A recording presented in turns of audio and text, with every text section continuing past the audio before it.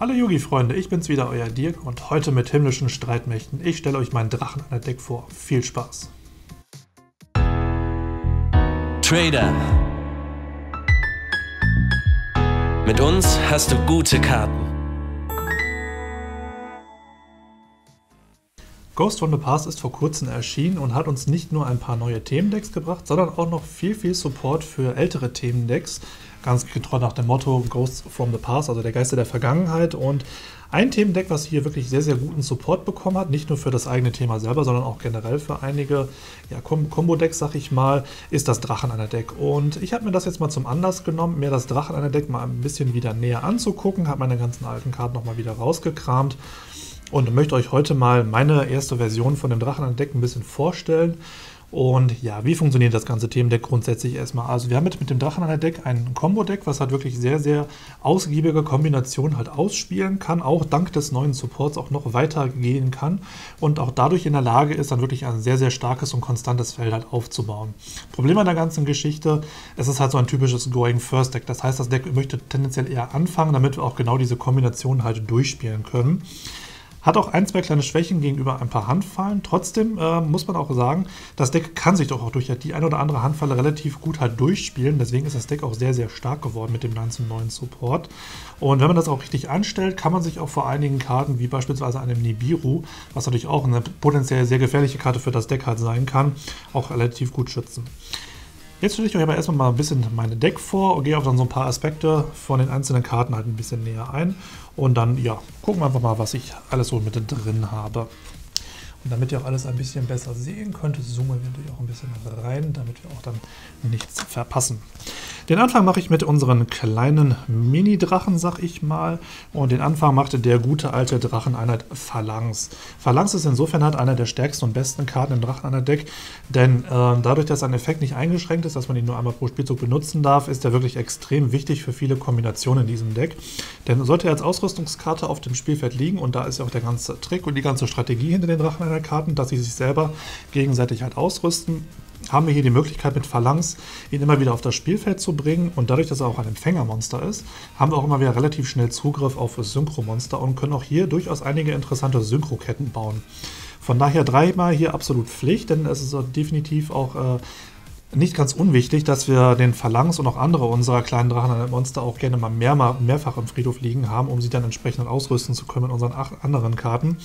Denn wir wollen auch einige äh, Link-Kombinationen mit den ganzen Wachdrachen beispielsweise halt auch durchführen. Und da sind natürlich diese kleinen Drachen äh, Drachen an der Karten wirklich eine super Basis dafür. Dann geht es weiter mit dem neuen Zuwachs unter den Drachen einer Karten, nämlich dem Dracheneinheit Remus. Er ist wirklich eine extrem starke Karte, die nicht nur im Drachen einer Deck, sondern auch beispielsweise in dem Drachenlink-Deck äh, wirklich eine super Figur macht, denn er hat wirklich zwei spezielle wichtige Eigenschaften. Zum einen haben wir die Möglichkeit, indem wir ihn abwerfen, uns eine Drachenschlucht zu suchen. Und die Drachenschlucht ist in jedem Drachenlink und auch in diesem Drachen einer Deck selber wirklich eine zentrale Karte, die wir auch möglichst schnell und auch immer auf der Starthand sehen wollen. Damit können wir nämlich dann unsere ganzen Kombinationen am Laufen halten. Die zweite Fähigkeit, die Remus halt noch mitbringt, ist, dass er sich selber als Spezialbeschwörung vom Friedhof beschwören darf, sollten wir nämlich ein Drachenmonster kontrollieren. Das ist in diesem Deck absolut kein Problem, das kriegen wir wirklich eigentlich immer hin. Einziger Nachteil ist an der ganzen Geschichte, wenn er sich dann verbannt, oder äh, wenn er dann halt das Spielfeld verlässt, wird er anschließend verbannt. Ist aber kein großes Problem. Wir kriegen eine gratis Spezialbeschwörung vom Friedhof und können damit halt unsere ersten Synchros halt äh, ja zusammenbasteln, denn auch Remus ist auch hier ein Empfängermonster und das haben auch die ganzen kleinen Drachenmonster auch hier gemeinsam. Sie sind alles Empfänger können sich halt auch teilweise halt dann entsprechend spezial beschwören und damit geht der ganze Spaß dann auch letzten Endes halt los. Wichtig hierbei zu berücksichtigen bei dem Remus ist, wenn wir seinen Effekt nutzen und im Profito wiederbeleben, dürfen wir auch für den Rest des Spielzuges auch nur noch Drachenmonster beschwören. Das heißt, eigentlich ist Remus in dem Fall auch wirklich nur in reinen Drachendecks gut zu gebrauchen. Ähm, ist aber auch keine große, böse, sag ich mal, Einschränkung, denn in den meisten Fällen sind die äh, relevanten Kombinationen sowieso um Drachen halt fokussiert. Den letzten kleinen Empfänger, den ich aber nur in zweifacher Ausführung spiele, der aber nichtsdestotrotz nicht unwichtig ist, ist Dracheneinheit Kuse. Kuse ist auch hier wieder ein Empfängermonster, der sich selber als Spezialbeschwörung aus der Zauber- und Fallenzone beschwören kann, wenn er halt ausgerüstet ist. Aber Kuse hat noch eine weitere wichtige Eigenschaft. Ihn dürfen wir selber halt nur für eine Synchro-Beschwörung eines Drachen-Monsters verwenden, aber wenn wir das tun, können wir ihn auch als Level 4 Monster behandeln. Das ist auch nicht ganz unwichtig zu berücksichtigen, denn wir haben durchaus das ein oder andere hochstufige Synchro-Monster, dazu komme ich dann gleich beim Extra-Deck noch ein bisschen, ähm, für die wir halt auch diese Fähigkeit sehr gut gebrauchen können, denn die meisten unserer Drachenmonster sind halt Stufe 4 und damit kommen halt eher auf Stufe 6 äh, und Stufe 5 und Stufe 7 äh, Synchromonster. Aber wir wollen natürlich auch etwas größere Monster halt haben und hier ist es ganz wichtig, dass wir auch diese Fähigkeit von Kuse auch nutzen können, dass wir ihn als Level 4 Monster beh äh, behandeln dürfen. Denn so haben wir die Möglichkeit dann auch unsere großen Level 8 Synchromonster zu beschwören. Oder auch unsere ganz großen Stufe 10er. Dann geht es weiter mit einer anderen wichtigen Karte, wie ich finde, in dem Dracheneinheit-Themendeck, nämlich Dracheneinheit Senatus. Für das Abwerfen einer Dracheneinheit-Karte dürfen wir ihn mit einer Dracheneinheit Empfänger-Monsterkarte aus unserem Deck halt ausrüsten. Und das ist halt wirklich extrem gut und wichtig, denn so können wir uns halt gezielt die ganzen Empfänger aus dem Deck halt rausfischen, sag ich mal, die wir beispielsweise nicht auf unserer Starthand haben oder die wir im Rahmen unserer ersten Kombinationsschritte noch nicht abwerfen konnten bzw. suchen konnten. Deswegen ist auch Senatus hier wirklich eine der wichtigsten Karten in diesem Deck und ähm, sollte auch definitiv nicht vernachlässigt werden. Deswegen auf 3 auch absolut Pflicht. Auch im Zweifelsfalle sehr gut über die Drachenschlucht halt suchbar. Besser ist es natürlich, wenn wir den guten Kollegen hier auf der Starthand halten.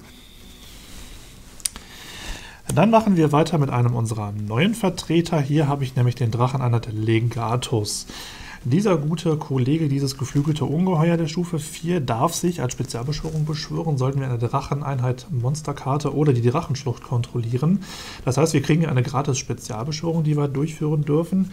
Den zweiten Effekt den nutzt man eigentlich eher seltener. Nichtsdestotrotz äh, sollte man ihn nicht vergessen, denn sollte sich nämlich eine Dracheneinheit Monsterkarte in der Zauber- und Fallenzone befinden, dürfen wir eine Zauber- Fallenkarte auf dem Spielfeld wählen und ihn zerstören. Das ist halt ziemlich gut, falls man dann mit in der Kombination als zweiter halt anfangen muss und dann potenziell irgendwelche Backrow-Karten, also verdeckte Zauber- und Fallenkarten beim Gegner hatte, die man halt loswerden möchte. Da kann man halt die äh, Fähigkeit von Legatus halt wirklich sehr, sehr gut nutzen. Wichtig hierbei ist, der Beschwörungseffekt und auch der Effekt zum Zerstören von Zauber- und Fallenkarten dürfen jeweils nur einmal pro Spielzug verwendet werden, ist aber in den meisten Fällen auch vollkommen ausreichend. Andernfalls wäre Legatus auch noch viel zu stark, würde ich auch so fast sagen. Dann haben wir bei den Level 4 Monstern noch einen Kollegen aus der Vergangenheit, den ich nicht vernachlässigen möchte, nämlich Drachen einer Dux. Er wird zwar eher seltener benutzt, für zumindest halt die Startkombination, weil man halt anfangen darf. Nichtsdestotrotz kann Dux in einigen Kombinationen immer noch ganz hilfreich sein, zumindest die erste kleine Level 6 Synchro-Beschwörung halt durchzuführen, denn Drachen der Dux darf sich selber, wenn er als Normalbeschwörung beschworen wird, mit einem Monster vom Friedhof halt ausrüsten, solange es ein Dracheneinheit-Monster ist. Der kleine Angriffsboost, den er halt pro Drachen der Karte auf dem Spielfeld bekommt, ist manchmal auch ganz hilfreich, denn es gibt durchaus die ein oder andere Karte, mit der wir auch uns viele Karten ausrüsten dürfen. Und da ist natürlich der Angriffsvorteil, den Dux hat, bekommt dadurch noch ein bisschen enormer. Also von daher einmal vollkommen ausreichend, weil man sie auch super gut suchen kann. Ähm, ansonsten würde ich sagen, reicht er auch vollkommen auf einmal. Dann machen wir weiter mit unseren etwas größeren Drachenmonstern aus dem Main Deck. Hier habe ich einmal die Drachen an der Waffe Mistletoe. Mistletoe ist insofern eine ganz gute Combo-Extender-Karte, mit der wir quasi unsere Kombination ein bisschen weiter ausbauen können. Und hier spielt auch seine Stufe 6 eine ganz wichtige Rolle, denn wenn wir ihn zusammen mit einem unserer Level 6 Synchromonster halt benutzen, können wir hier beispielsweise uns auf unseren priesterlichen Drachenkönig von Atun gehen und uns so entsprechend einen Drachen aus unserem Deck beschwören. Das heißt, hier ist auch mal die Stufe noch entscheidend, die er mitbringt. Und die Tatsache, dass er sich als Spezial beschwören darf, indem wir ein Drachenmonster von unserer Spielfeldseite auf den Friedhof legen, äh, macht ihn halt wirklich noch, noch sehr, sehr gut und flexibel. Und äh, hinzu kommt noch, dass wir ihn auch mittlerweile noch besser suchen können. Denn die Drachenschlucht darf es nämlich nicht. Die darf nämlich nur Stufe 4 oder niedrigere Dracheneinheit-Monster suchen. Aber mit unseren neuen Zauberkarten, die wir auch bekommen haben im Ghost from the Past, können wir Mistletoe wirklich sehr flexibel und schnell auf unserer Hand halten und ihn auch dann entsprechend ins Spiel bringen. Dann auch für die Kombination in diesem Deck nicht ganz unwichtig, nämlich Dracheneinheit Waffe Leyvaten. Auch diesen Kollegen dürfen wir als Spezialbeschwörung beschwören, sogar, sowohl von unserer Hand als auch sogar vom Friedhof und das auch nicht mal einmal pro Spielzug nur eingeschränkt. Dafür müssen wir allerdings ein Monster auf unserem Spielfeld verbannen, das mit einer Drachen eine Karte ausgerüstet ist. Ist in diesem Deck kein großes Problem. Hinzu kommt, dass Levaten, wenn er beschworen sind, sich, äh, wird, sich mit einem Monster, mit einem beliebigen Drachenmonster vom Friedhof halt ausrüsten darf. Und das ist auch wieder hier Tor und Tür für weitere ja, Kombo-Kombinationsschritte und ist auch nicht ganz unwichtig, dass wir diesen Effekt auch mehrmals pro Spielzug benutzen dürfen, denn so können wir unser Feld wirklich maximal ausbauen und auch dem Gegner dann entsprechende fiese und böse Sachen auf das Spielfeld legen.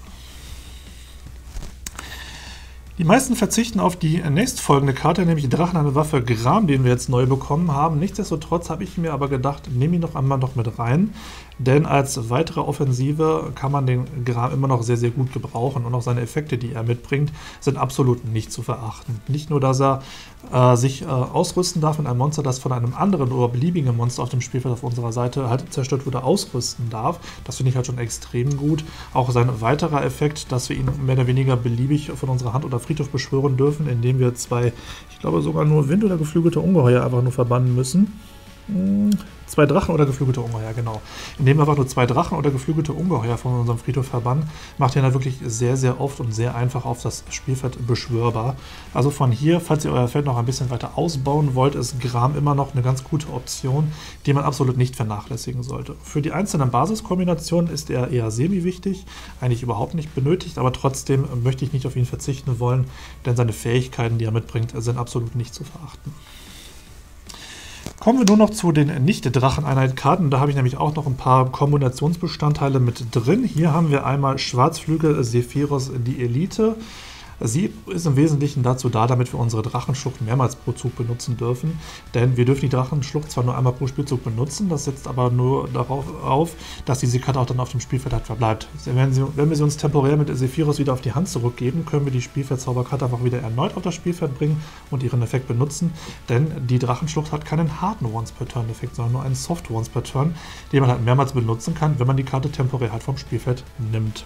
Deswegen Sephiros auch hier auch ein wichtiges Kombinationsbestandteil, auch weil er ein geflügeltes Ungeheuer ist und uns da auch den Zugriff auf größere Synchromonster dann entsprechend gibt. Dann einmal mit enthalten habe ich Garuda, der Windgeist. Als geflügeltes Ungeheuer integriert er sich hier auch wunderbar in unser Themendeck mit ein. Und der Tatsache, dass wir ihn spezial beschwören dürfen, indem wir ein Windmonster von unserem Friedhof verbannen. Und der Tatsache, dass er ein Stufe 4 Monster ist, ist da wirklich einfach ein super Kombinationselement, den wir auch dann über unsere Extra-Deck-Monster, dazu dann gleich noch ein bisschen mehr, auch sehr gezielt auch gut suchen können. Dann als kleines weiteres Empfängermonster, der dann in Notfallsituationen auch mal ganz gut herhalten kann, um auf unsere Synchromonster zu kommen, ist Nebeltal Baby Rock. Wichtig hier bei Baby Rock zu berücksichtigen ist, er hat einen optionalen Wenn-Effekt. Das heißt, wir dürfen seinen Effekt, mit dem er sich selber vom Friedhof wiederbeleben darf, sofern er halt von der Hand abgeworfen wird, nur dann benutzen, wenn das Abwerfen von dem Nebeltal Baby Rock das letzte ist, was passiert. Das Ganze ist aber sichergestellt, wenn wir den Nebeltal Babyrock mit dem Effekt von dem Drachen einer dritter Gederkheit benutzen. Ähm, deswegen ist auch hier ein bisschen Vorsicht geboten, wie wir den halt benutzen, denn ein Abwerfen für beispielsweise eine Drachenschlucht löst diesen Effekt von Nebeltal Babyrock halt nicht aus, denn er würde in dem Fall sein Timing verpassen. Dann als ja, drittletztes Monster in meinem Deck habe ich einmal Tempest, den Drachenherrscher der Stürme. Er kann nicht nur sehr gut offensiv äh, agieren, indem er sich aber selbst beschwört mit 2400 Angriffspunkten. Nein, vielmehr nutze ich ihn eigentlich als Kombinationsbestandteil und verbanne ihn während meiner Kombination aus dem Deck, um mir dann gezielt ein Windmonster aus unserem Deck halt zu suchen. Einfach um damit auch meine Kombination ein bisschen auszuweiten, indem ich mir einfach dann gezielt genau die Kombinationsbestandteile aus meinem Deck halt raussuche. Von daher hat Tempest hier einfach einen mehrfachen Nutzen für mich. Wenn ich ihn halt nicht verbannen kann, weil ich ihn beispielsweise auf der Starthand halte, kann ich ihn trotzdem noch sehr gut beschwören und dann für entsprechende Kombinationen einfach als Linkmaterial weiterverwenden und er hat dann trotzdem noch seinen Zweck sehr gut erfüllt. Tja, eine, Dra eine Drach oder eine Drachenkarte darf eigentlich in fast keinem Drachendeck halt fehlen und das ist der rotäugige finstere Metalldrache. Denn mit seinem Effekt, uns einen beliebigen Drachen von der Hand oder unserem Friedhof beschwören zu dürfen, kann man seine Kombination nochmal sehr, sehr gut ausbauen, beziehungsweise sein Feld einfach nur ein wenig weiter verstärken. Deswegen ist er auch hier absolut Pflicht, ihn aber mit im Deck drin zu haben. Insbesondere deshalb, weil unser Drachen an Deck auch sehr, sehr einfach und sehr gezielt uns dieses Monster aus dem Deck beschwören darf. Dann als allerletztes Monster habe ich noch einmal das Zerstörungsschwert des Drachenbusters, denn das Deck ist durchaus in der Lage mit seinen ganzen Ausrüstungseffekten und in, Beispiel, in, den, ja, in dem Fall macht es dann in dem Fall unser ähm, Dracheneinheit Waffe Levaden halt möglich, das gegnerische Extra-Deck komplett halt auszuschließen. Und deswegen habe ich ihn hier auch einmal mit drin. Wir können ihn halt relativ gezielt im Rahmen unserer Kombination dann auch auf den Friedhof legen. Ähm, und ihn dann später im Rahmen unserer Kombination einfach Levaten beschwören und dann mit dem Zerstörungsschwert ausrüsten, so dass wir dem Gegner halt von, unserem extra, von seinem Extra-Deck halt komplett sperren und ihn halt dementsprechend sehr stark einschränken können. Dann geht es weiter mit den Zauberkarten und die wahrscheinlich wichtigste Zauberkarte im Drachen an der Deck ist definitiv die Drachenschlucht, deswegen auch hier in dreifacher Ausführung. Einfach um auch ein bisschen dem entgegenzuwirken, dass der Gegner potenziell vielleicht einige Annullierungseffekte oder Zauber- und Feinzerstörungskarten auf dem Spiel liegen hat und uns da die Drachenschlucht hat mit entsprechend wegnehmen kann. Deswegen ist es immer gut, sich diese Karte immer ein paar Mal ja, zurückzuhalten. Ähm, ja, ich glaube, viermal muss ich nicht sagen. Sie sucht uns ein beliebiges Drachen, ein Monster der Stufe 4 oder niedriger aus unserem Deck für den Preis einer Handkarte oder füttert unseren Friedhof mit einem Drachen von unserem Deck und das eröffnet uns auch hier wieder Tür und Tor für vielfältige Kombinationen in diesem Deck. Dann geht es weiter mit der Heiligen Lanze der Dracheneinheit. Diese Karte kennt man schon aus dem Drachenlink-Deck, einfach um sich hier ein entsprechendes Drachenmonster aus dem Deck auf die Zauber- und Fallenzone zu legen und damit entsprechend ein bisschen Unsinn anzustellen. Auch hier kommt diese Karte super zur Geltung und dadurch, dass sie durch äh, unseren Romulus, den ich auch gleich noch vorstellen werde, auch sehr gut super ist, ähm, reicht sie auch hier auf 1 zu spielen. Dann kommen wir jetzt zu unseren neuen Dracheneinheit-Karten und den Anfang mache ich hier mit dem Glühen der Dracheneinheit, die ich hier in dem Fall auf zwei spiele. Ähm, einfach aus der einfachen Gegebenheit her, dass unsere hochstufigen Monster für einige unserer Kombinationen nicht ganz unwichtig sind. Aber auch der zweite Effekt von glühender Drachenheit ist absolut nicht zu vernachlässigen, denn wir dürfen diese Karte von unserem Friedhof verbannen, um ein ähm, Drachenmonster in unserer Zauber- und Fallenzone als Spezialbeschwörung zu beschwören. Und das ist insofern für die ganzen Drachen an der Karte in den Zauber- und Fallenzonen interessant, die sich halt selber nicht als Spezialbeschwörung beschwören dürfen. Von daher glühende Dracheneinheit hier als äh, Omni-Sucher für unsere hochstufigen Dracheneinheit-Karten, aber auch als Beschwörer für unsere ganzen entsprechenden Ausrüstungsmonster, ähm, ist diese Karte definitiv nicht zu vernachlässigen. Dann einmal als potenzielle ja, Go-Second-Karte, sag ich mal, ist der Wirbelwind der Dracheneinheit. Ähm, insofern halt nur dann Going Second, weil wir im ersten Spielzug natürlich ja im Regelfall keine gegnerischen Monster auf dem Spielfeld erwarten dürften. Das passiert dann nur im späteren Duellverlauf vielleicht, wenn wir es halt dann doch äh, geschafft haben, uns ein Libiro halt einzufangen. Ansonsten ist Wirbelwind der Drachen eine ganz praktische Karte, um einfach unsere Startkombination mehr oder weniger ins Laufen zu bringen. Denn mit ihr dürfen wir quasi passendes Material für die erste Synchro-Beschwörung aus unserem Deck halt beschwören und auch das Synchro-Monster direkt auf das Spielfeld bringen. Von daher hier auch eine wichtige, gute Karte, die aber auf 1 trotzdem mal ausreicht, denn wie gesagt, das Drachen an der Deck möchte im Regelfall einfach anfangen und falls das mal nicht der Fall sein sollte, können wir, äh, können wir mit dem Wirbelwind der Drachen an der trotzdem relativ schnell ins gut ins Spiel finden. Dann hier noch einmal in einfacher Ausführung, einfach als simple Tech-Karte, weil ich hier weitestgehend auf, äh, im Prinzip nicht nur weitestgehend, sondern weil ich grundsätzlich auf viele Handfallen verzichte, ähm, habe ich noch einmal die Einberufung der Dracheneinheit. Nicht nur, dass wir, wenn wir diese Karte aktivieren, ein Dracheneinheit-Monster der Stufe 4 oder niedriger von unserem Friedhof wieder zurück auf die Hand nehmen dürfen, was zum Beispiel ganz gut ist, um sich einen Legatus wieder zurück auf die Hand zu nehmen oder einfach unsere, unsere Empfänger zum Abwerfen für die Drachenschlucht wieder äh, zurücknehmen könnten. Nein, wir haben auch die wesentlichen äh, Vorteile, dass unsere Dracheneinheit-Monster der Stufe 5 oder höher auf dem Spielfeld, wenn sie dann angreifen, von gegnerischen Karteneffekten unberührt sind. Und das ist halt extrem stark, weil wir damit dann quasi ungestraft angreifen dürfen. Deswegen auf 1 auch nochmal ganz aus, vollkommen ausreichend, weil wir die Karte im Zweifelsfall auch gezielt suchen können. Dann ist, wie gesagt, unsere Drachenschlucht die wichtigste Karte. Daher ist es auch nicht unabdinglich, dass wir auch die Karte Landform spielen. Und weil wir auch mit vielen Karten im Friedhof halt arbeiten können, habe ich noch einmal das törichte Begräbnis mit integriert. Damit können wir uns im Zweifelsfall auch ein Remus dann direkt von unserem Deck auf den Friedhof parken, um auch hier seinen Beschwörungseffekt dann nutzen zu können, falls wir dann ein Bindeglied quasi für unsere Kombination brauchen. Ansonsten könnt ihr mit törichtem Begräbnis auch unsere anderen Empfängermonster auf den Friedhof schicken wenn wir soweit sind, dass wir auch sie aus dem Friedhof mehr oder weniger ausrüsten können, um sie dann wieder entsprechend mit ihren eigenen Effekten beschwören zu dürfen. Unterstützen tue ich das Ganze noch einmal mit dem Drachenschrein. Die macht im Prinzip das gleiche wie das törichte Begräbnis. Muss ich also, glaube ich, nicht allzu viel verlieren an Worte für diese Karte. Dann noch als Basiskarten, sage ich mal, ist einmal die Wiedergeburt nicht ganz unwichtig. Damit können wir auch noch eine ganze Menge Unsinn anstellen. Ansonsten habe ich einmal mit integriert das Weltvermächtnis Wachdrachen permanenten Zauberkartikettchen. Ähm, auch hier haben wir die Möglichkeit, wieder einige unserer Kombinationen zu starten. Und außerdem einmal integriert habe ich vom Grab gerufen, um uns dann gegen potenziell gegnerische Handfallen so ein bisschen zu schützen, sofern wir sie auf der Starthand auch quasi bekommen. Außerdem als Zauberkarte noch integriert als letztes habe ich zweimal den verbotenen Kelch. Sie ist quasi ein Ersatz für ja, beispielsweise jede äh, Effektverschleierin und hat auch die Möglichkeit, dass wir sie einfach noch auf unsere Zauber- und Fallenzone halt noch äh, setzen können, einfach um unser Startfeld noch ein bisschen zu unterstützen und da noch eine weitere Annullierung mehr oder weniger für den Gegner parat zu haben. Dann habe ich noch eine einzige Fallenkarte mit integriert und das ist einmal der Kerker der Dracheneinheit.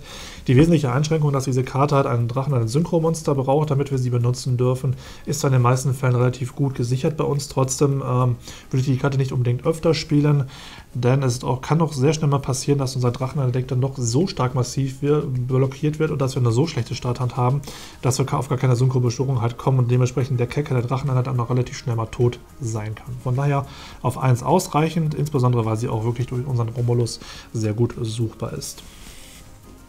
Gut, dann kommen wir nochmal zum Extra-Deck. Und da fangen wir an mit dem Drachen einer Ritter Luin. Er ist halt nicht nur ein Synchromonster, sondern auch gleichzeitig noch ein Empfängermonster. Das heißt, wenn man halt ein bisschen variieren möchte, sein Extra-Deck, kann man auch mit ihm zusammen und einem weiteren äh, Level 6 Empfänger oder Level 6 Drachenmonster auch durchaus auf einen Ultimaya Zeugkin halt gehen. Das dürfte als interessante Tech-Idee vielleicht nochmal ganz äh, nett sein. Ansonsten nutzen wir Luin im Wesentlichen halt als kleines Kombinationsbestandteil, um sich selber wieder halt auszurüsten. Denn wenn er das Spielfeld verlässt, darf er sich an ein Drachenmonster ausrüsten und dem ganzen Monster sogar noch 1000 Angriffs- und Verteidigungspunkte halt mitgeben. Das ist echt eine feine Sache und kann auch für einige Kombinationen recht interessant und hilfreich sein. Dann machen wir weiter mit wahrscheinlich der wichtigsten Synchro-Karte in unserem Deck, nämlich den Drachen an der Ritter G-Derg. Denn er hat äh, einen sehr, sehr, wirklich sehr, sehr guten Effekt, denn einmal pro Spielzug dürfen wir äh, ein geflügeltes Ungeheuer oder ein Drachenmonster von unserem Deck auf die Hand nehmen und anschließend ein geflügeltes Ungeheuer oder ein Drachenmonster von unserer Hand auf den Friedhof befördern. Das heißt, wir können uns gezielt dann entsprechend Kombinationsbestandteile zusammensuchen. Karten, die wir gerade vielleicht doppelt oder dreifach auf der Hand haben und nicht benötigen können, legen wir auf den Friedhof oder auch gezielt Karten auf den Friedhof äh, befördern können, die wir vielleicht für einige Kombinationen auch dann sehen wollen, weil wir sie dann später durch andere Effekte wieder ausrüsten. Wir haben auch die Möglichkeit, GDR durch unsere Effekte auch ein paar Mal auf das Spielfeld zu bekommen und seinen Effekt auch mehrmals in unserem Zug halt zu benutzen. Von daher einmal vollkommen ausreichend, einfach durch die Tatsache, dass wir noch immer wieder auf das Spielfeld bekommen können.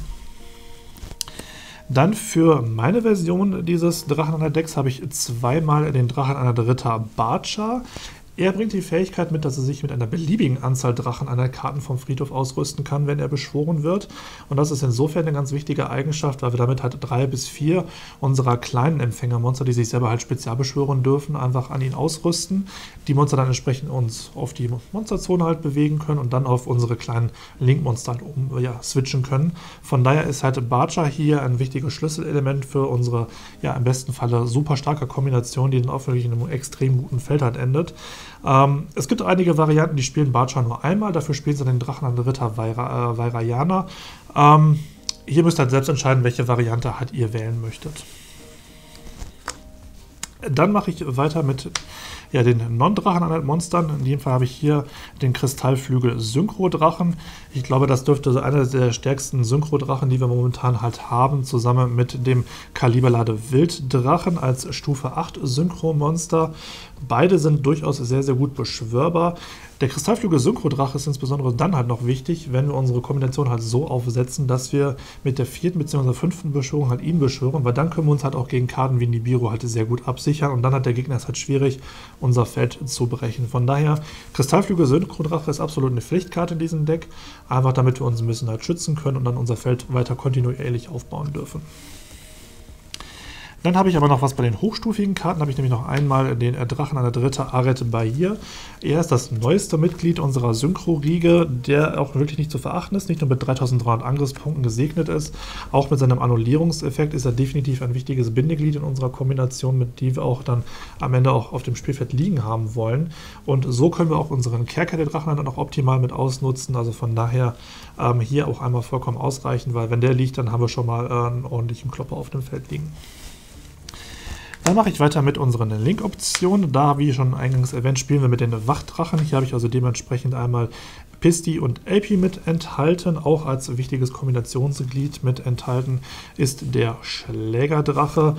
Einfach damit wir unsere Effekte unserer Wachdrachen vorrangig halt den von Pisti halt benutzen können um damit beispielsweise einen Gederk vom Friedhof zurückzuholen oder einen rotäugigen finsteren Metalldrachen, falls wir seinen Effekt noch nicht benutzt haben, oder in einem vorherigen Zug können wir halt hier relativ viel Unsinn mit anstellen. Also von daher ähm, sind die drei Karten auch mit einer der wichtigsten und auch schon fast Pflichtkarten.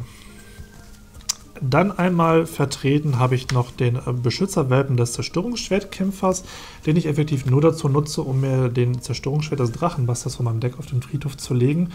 Sollte ich den Drachen schon längst auf der Hand haben und im Rahmen unserer Kombination einfach abgeworfen haben, könnt ihr euch dann ihn sogar teilweise sparen in unserem Kombinationsverlauf äh, und dann einfach auf das nächste Monster wechseln oder auf das danach folgende, nämlich einmal den Priester, das priesterliche Siegel der himmlischen Sphären, der jetzt auch in Ghost from the Past noch ein Reprint bekommen hat. Oder natürlich auch ganz wichtig, unser Drachen an der dritte Romulus, der auch nochmal gezielt uns hier ein paar passende Elemente aus unserem Deck suchen darf. Dann, wie eingangs schon auch zwischendurch erwähnt, benutzen wir noch unseren priesterlichen König, äh, Drachenkönig von Atum. Dadurch, dass wir halt relativ gut auf Level 6 Synchro-Monster kommen mit Luin und auch mit Gederk, sollten wir natürlich auch diesen Drachen sehr exzessiv auch mal ausnutzen, einfach um uns dann gezielt unsere nächsten Kombinationselemente aus unserem Deck zu beschwören. Dann aber noch last but not least und auch nicht ganz unwichtig, ähm, habe ich noch einmal Trishula, Drache des Eisgefängnisses, der auch in diesem Deck wirklich super zu beschwören ist und auch mit seinem vollen Effekt hier auch wirklich nutzbar ist, denn Trishula beschwört man im Regelfall darüber, dass wir drei Monster mit unterschiedlichen Namen halt äh, von unserem Spielfeld entfernen und sollten das alles Drachen gewesen sein, dürfen wir eine gegnerische Extra-Deck-Karte, die oberste Karte des gegnerischen Decks und eine unserer Deckkarten verbannen. Und für unser eigenes Deck nutze ich in dem Fall ganz gerne unseren Tempest, um mir dann gezielt noch ein Windmonster aus unserem Deck suchen zu dürfen. Also von daher ist hier das Zusammenspiel der einzelnen Elemente hier wirklich sehr, sehr groß. Und deswegen ist auch hier Trishula ganz gerne auch mal ein gesehener Gast in diesem Deck. Ja, das war es, mein Dracheneinheit-Deck. Das ist nur eine von vielen Varianten, die das Deck mehr oder weniger zur Verfügung stehen hat, denn es gibt durchaus einige Varianten, die quasi nicht aus einem Endfeld bestehen aus Kaliberlande Wilddrache, unserem Kristallflügel Synchro-Drachen, einem himmlischen, äh, priesterlichen Siegel der himmlischen Sphären und Aret Bahir plus halt nochmal, ähm, ja, sucht es euch aus, einem anderen großen Drachenmonster. Ähm, sondern es gibt noch eine Variante, die mit den Amorphage-Karten zusammenspielt. Das ist eine andere Variante, die aber im Wesentlichen den relativ gleichen Kern nutzt, wie ich den auch hier gespielt habe. Ähm, also von daher könnt ihr da noch ein bisschen variieren. Ich hoffe, das Deckprofil hat euch gefallen. Falls ihr noch andere Ideen und Vorschläge habt, lasst mal gerne ein paar Kommentare da. Vielleicht noch als ergänzender Hinweis, preislich liegt das Deck in einem kleineren dreistelligen Betrag, von daher da nicht äh, wundern, wenn euch das Deck ein bisschen teurer werden könnte, wenn ihr das spielen wollt, das müsstet ihr auf jeden Fall berücksichtigen. Nichtsdestotrotz habt ihr hiermit ein wirklich sehr, sehr starkes Kombinationsdeck, das äh, wirklich extrem starke Felder halt aufbauen kann, aber halt auch ein Deck ist, was so typischerweise anfangen möchte. Von daher ähm, das nochmal so als Hinweise vorab. Das war es diesmal von meiner Seite aus. Viel Spaß mit dem Deckprofil und beim Nachbauen. Ähm, ja, ich freue mich über jeden Kommentar von eurer Seite. Like das Video, wenn es euch gefallen hat. Abonniert unseren Kanal, um auch nichts weiter zu verpassen, was bei uns so veröffentlicht wird. Und dann sage ich danke fürs Zuschauen und dann bis zum nächsten Mal. Macht's gut.